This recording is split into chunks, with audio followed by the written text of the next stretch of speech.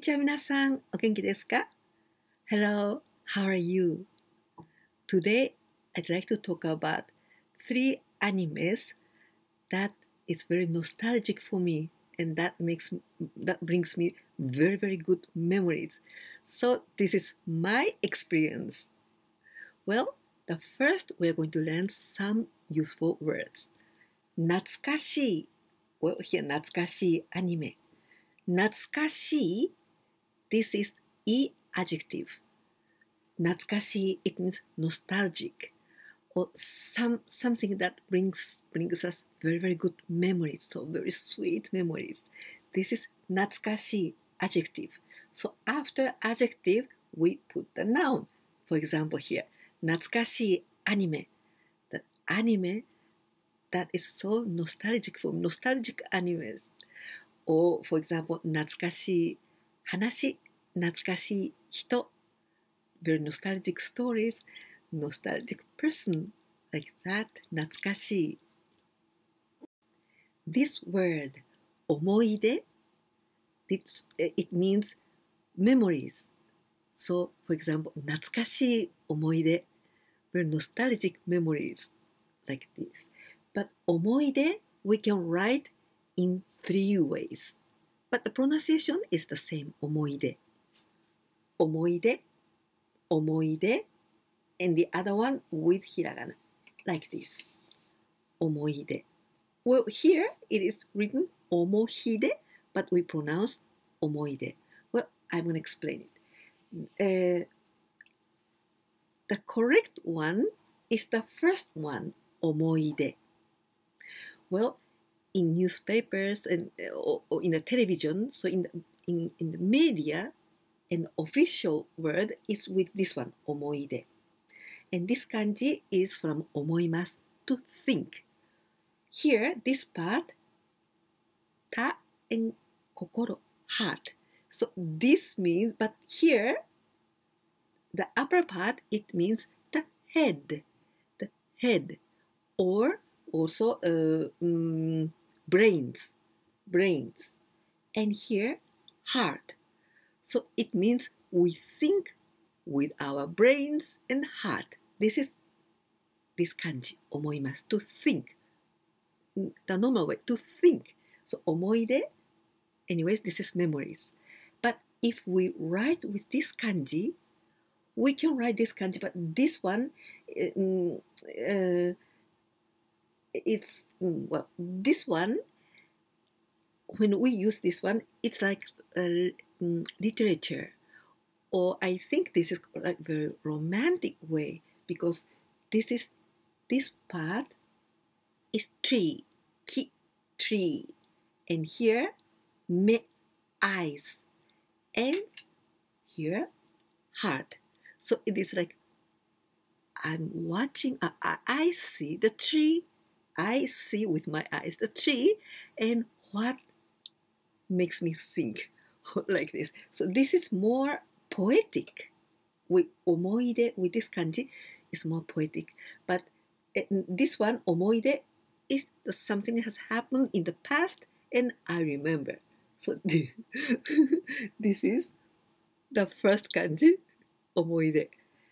And why this one, omoide, we use this one?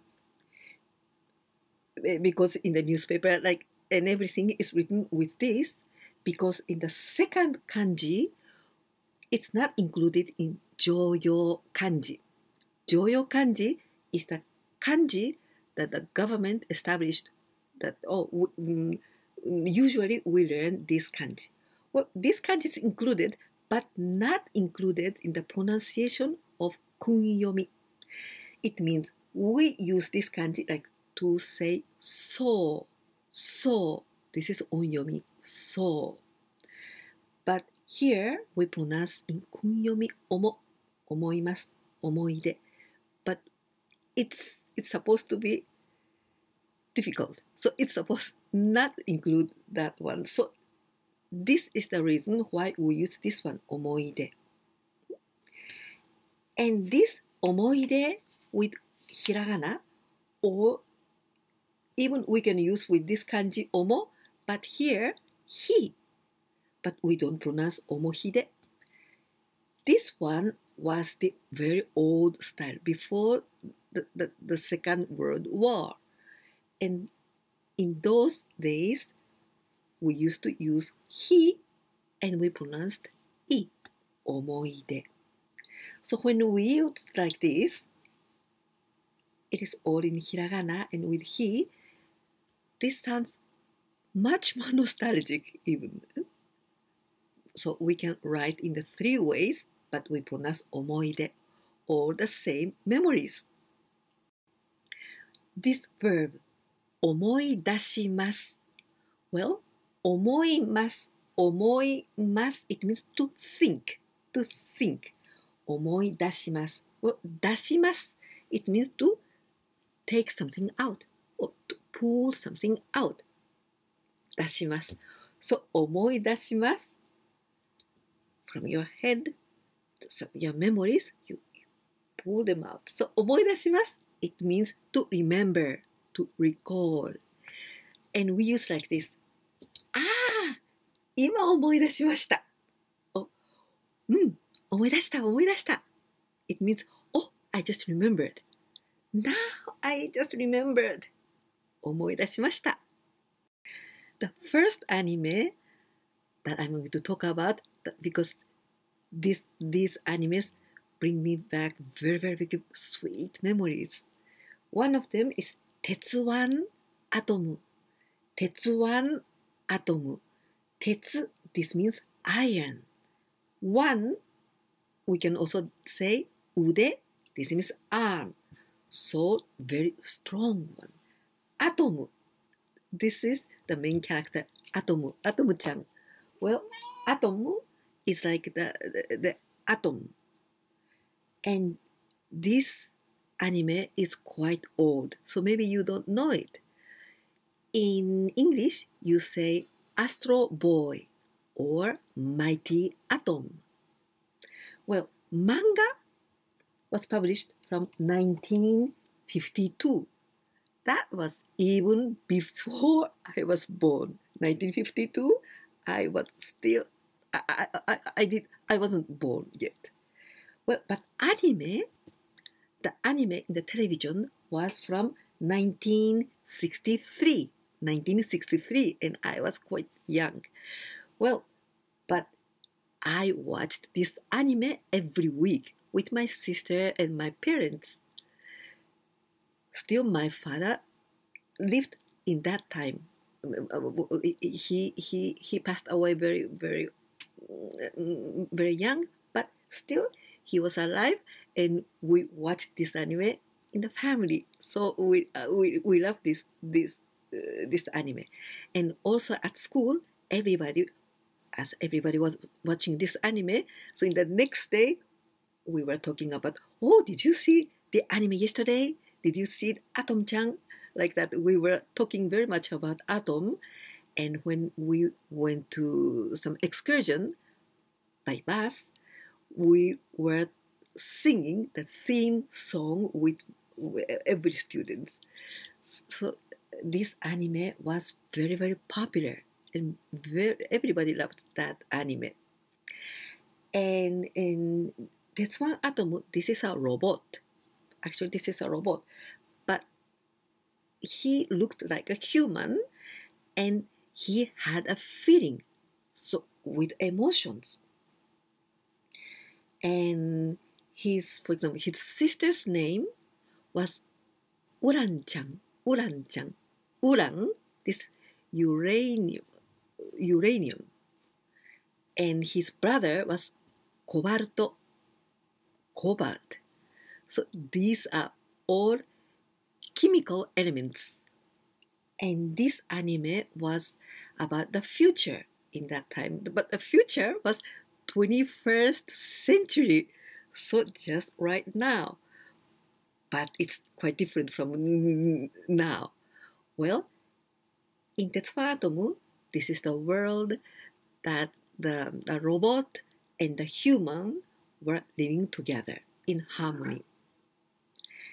And and this atom had to fight a lot of times because he, usually he fought with other robots, but these robots were mm, these robots hated people, so he he fought with them, or also uh, some alien invaders from the space.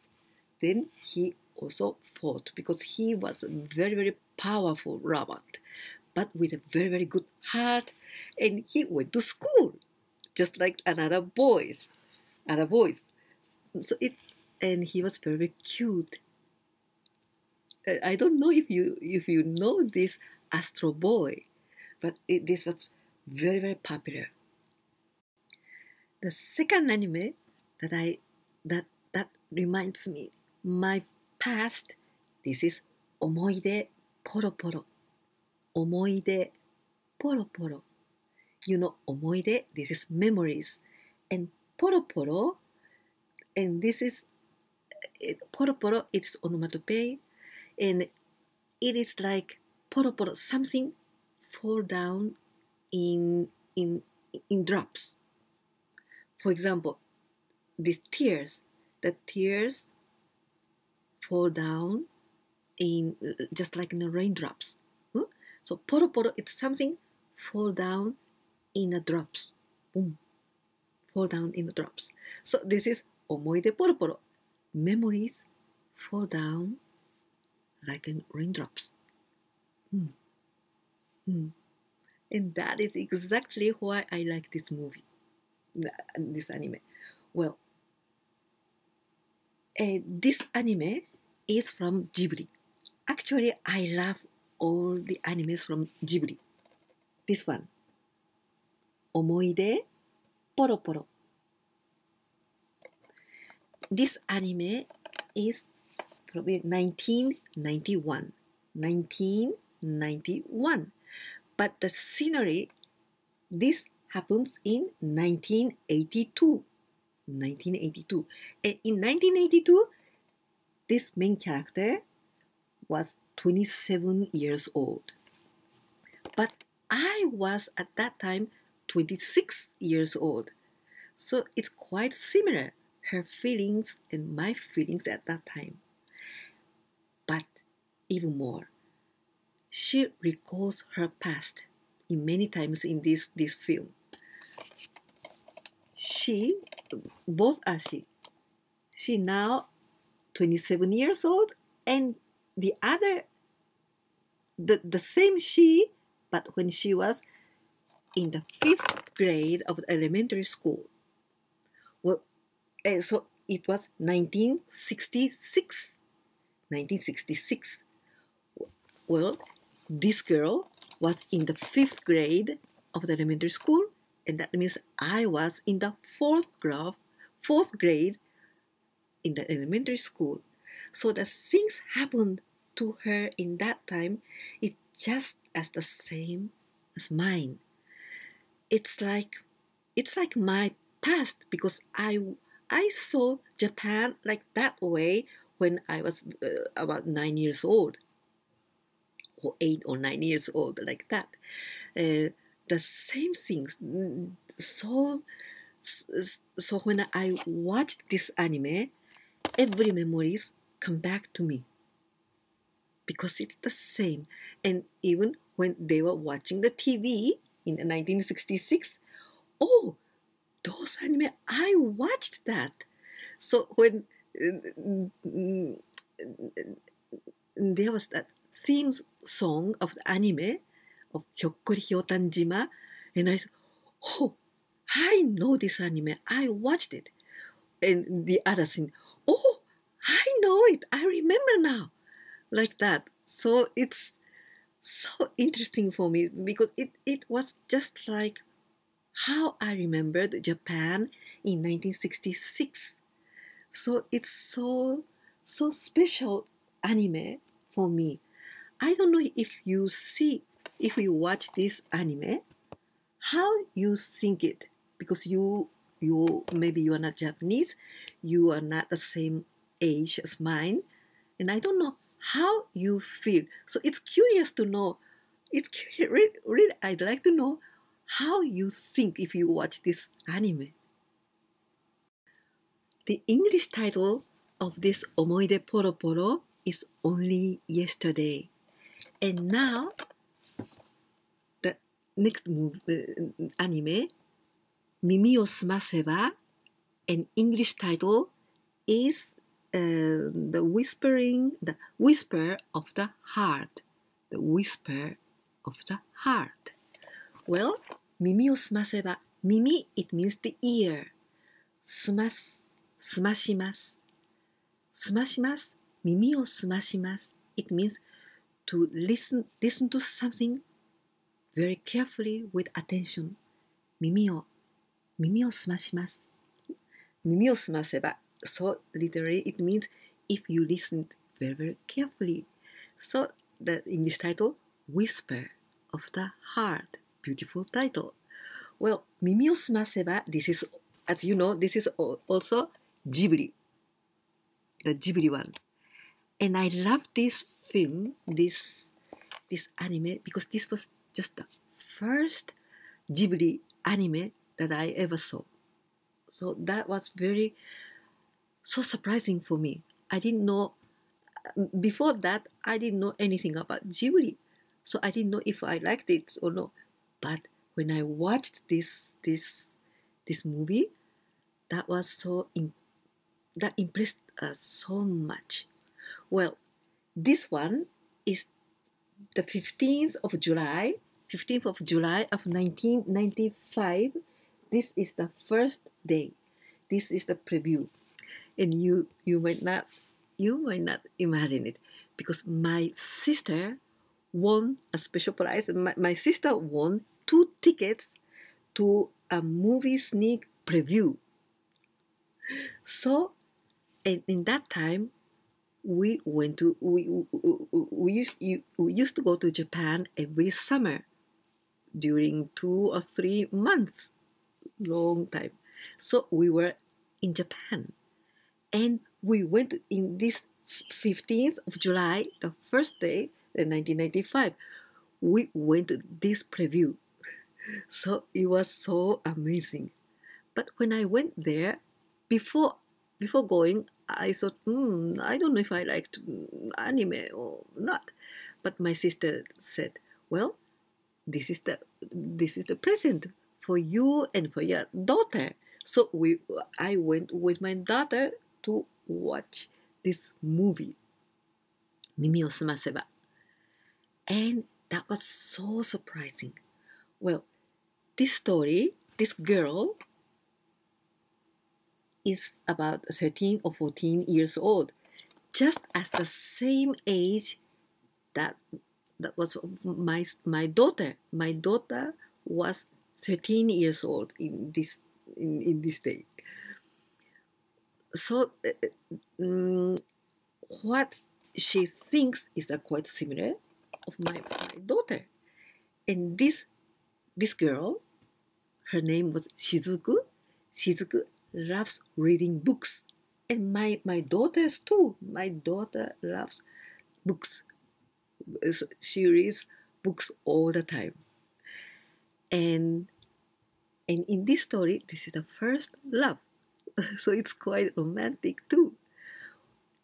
And well, as I told you, she loves books, so she reads lots of books in the from the um, uh, bibliothèque. Then she she she's always saying, "Oh, there's the name of the boy, and who is reading the same same book, but before me, in the other book. Oh, again the same name. Who might be?" Then when she she meets this boy after that she falls in love with him and this boy knows what he wants to be exactly in the future he wants to be a luthier luthier so it means he he wants to go to italy and he wants to learn how to how to um, how to make violins and like that. So he he knows exactly what he wants. So she thinks, or he, she admires him. Oh, how how how nice! Because I don't know anything about what I'm I want to I want to do what I'd like to be. But anyway, she loves reading books and also she loves writing some stories. So here you see she's flying with a cat. This cat's name is Baron. Baron. So, but this is this is a story that she was inventing, and in this movie we can enter in her story, and it's really beautiful, and I loved that part so much in the screen of the movie. So, oh, how beautiful! Like that. So from from this movie, Mimi o Sumaseba, this was just really the first movie of the first anime of Ghibli that we watched ever. But from that time on, my sister, my daughter, and I are really the great fan of Ghibli. So this is a very um, nostalgic anime for us. So these are my three nostalgic animes. And have you got one? Which one is it?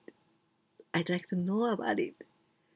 If you don't mind, would you please write your mm, not mm, exactly the favorite one, but nostalgic one that reminds you lots of sweet memories like that in commentary below this video.